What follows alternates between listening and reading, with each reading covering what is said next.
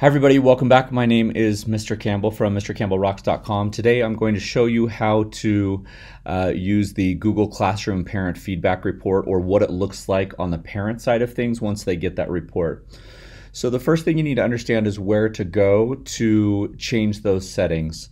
So if you're a parent or a teacher and you're pointing parents in the direction uh, to uh, update their email summaries, you send them to classroom.google.com forward slash GS.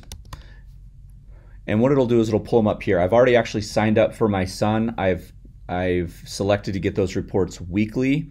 You can choose daily or you can turn off those summaries and then obviously you can do a uh, time zone change here.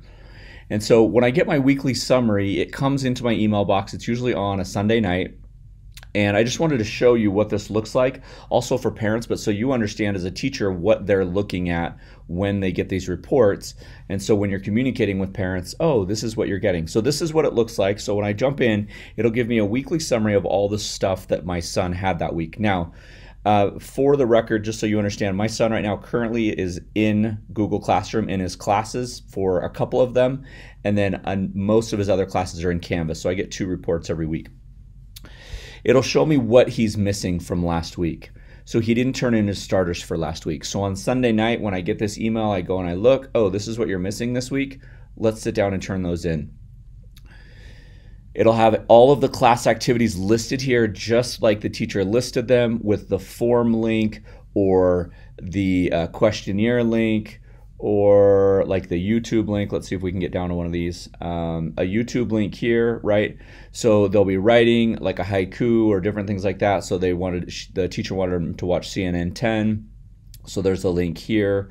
Um, then if we go to the next class, right, this is a summer class that he signed up for for ninth grade. So this is AP Human Geography. Uh, it is not necessarily required. It's just uh, our AP teacher is suggesting that the kids do this so they're more prepared when they come into the classroom starting next school year. And you can see that she has put in some uh, Nearpod announcements and some other activities that they're going to use. Obviously, she's built a virtual classroom where the kids can go and explore different things like that. So all of the links are connected here. So as a parent, I can go in and look and see what links the teachers are sharing with my students or what work is expected of them.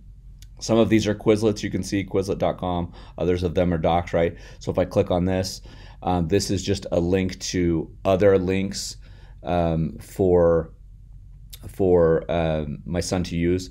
And so I'm not going to actually open that, but that's what it would take me to another link because I have to be connected to my district account. Down here, you'll have options always to change those settings and to unsubscribe. So when I click on settings, it's actually going to take me back to where we were right at the very beginning. So when I click on settings, it'll take me to my email summaries. Again, this is where I can remove my student.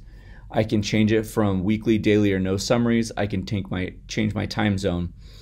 Again, this has just been a quick tutorial on what the parent weekly summary looks like in Google Classroom. If this saved you time, excuse me, if this saved you time, value, and frustration, I'd love it if you subscribe and like. As always, most likely you're connected with the education if you're here. I love you. I appreciate you, and I'm glad that you're here.